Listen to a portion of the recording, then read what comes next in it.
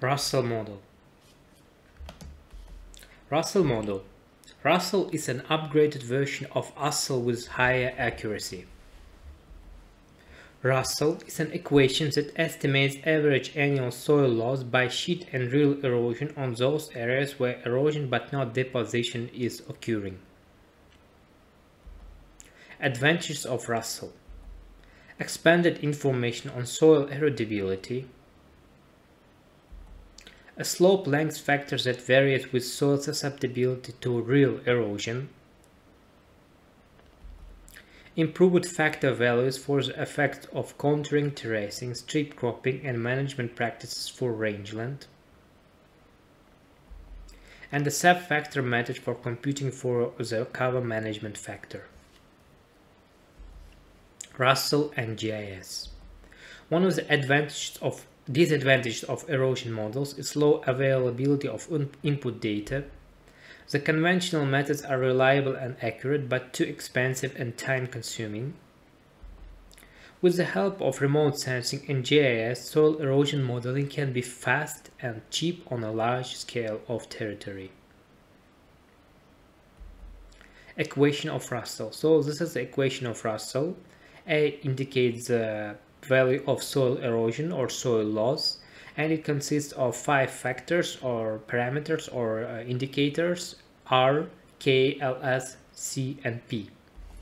A is annual average soil loss measured in tons per hectare for year.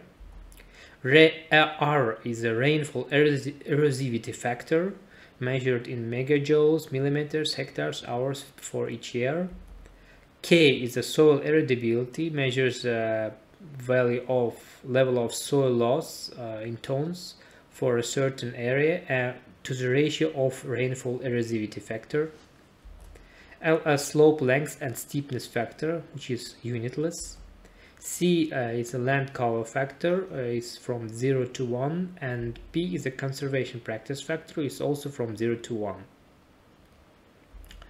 So this is a, a model, general model of RUSLE. Uh, don't be freaked out. Actually, it's not uh, very uh, uh, complicated to grasp. So on the top you can see that uh, input data, uh, soil data, uh, which um, according to which we derive K factor map and rainfall data according to which we derive R factor map and digital elevation model uh, which uh, is mostly used to derive uh, LS factor but also sometimes used to derive P factors, it means conservation practice factor, and the Landsat images, uh, not always Landsat actually, it can be a Sentinel or other image. Anyway, though satellite image according to which we can make a land cover or classification or uh, uh, can derive a vegetation index such as NDVI and is uh, used for uh, to